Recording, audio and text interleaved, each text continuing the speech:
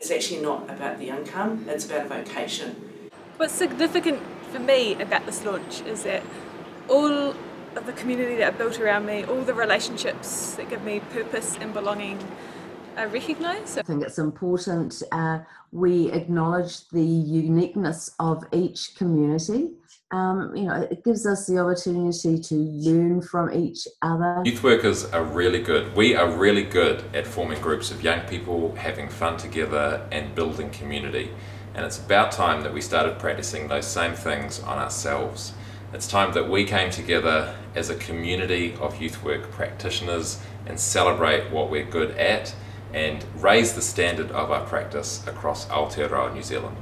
We will strive forward and inspire our rangatahi because e tika ana te kōrero, ko ngā rangatahi, ngā rangatira mō pōpō, they are the leaders of tomorrow and we need to do something about it today.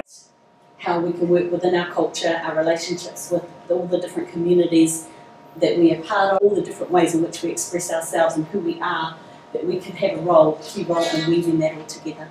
And I'm really, really proud to be a youth worker. Recognise that youth workers are many, that we've got valid skills to share. Whanaungatanga is important. The people who taught me, the people I connected with, the people I worked with, the young people I worked with, um, relationships um, are the most important thing. And so I'm part of a whānau. Whānau makes me feel connected. Um, I feel like that sense of belonging.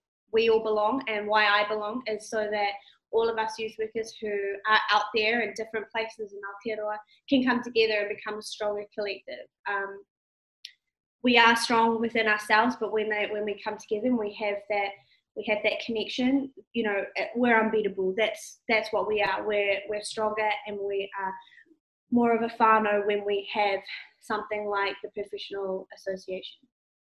I guess for me is working to an awesome standard like you know having accountability ownership which ultimately ensures that we're giving our youth our young ones the best possible outcomes i'm passionate about youth development and youth work in new zealand because i love the way that young people think and come up with solutions to problems and ways to be in the world that we haven't even considered.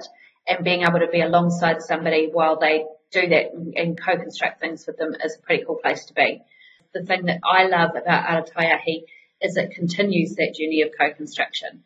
And the collaborative and innovative way that this whole organisation has always worked, growing the mana of our sector. Youth and also working alongside some uh, amazing youth workers over the years and seeing the tremendous benefits that they can add to the life of a young person and to communities, right from just um, helping individuals get back on the right path, all the way through to you know amazing creative transformations where young people have taken on, through the support of uh, really talented youth workers, some really large scale international projects.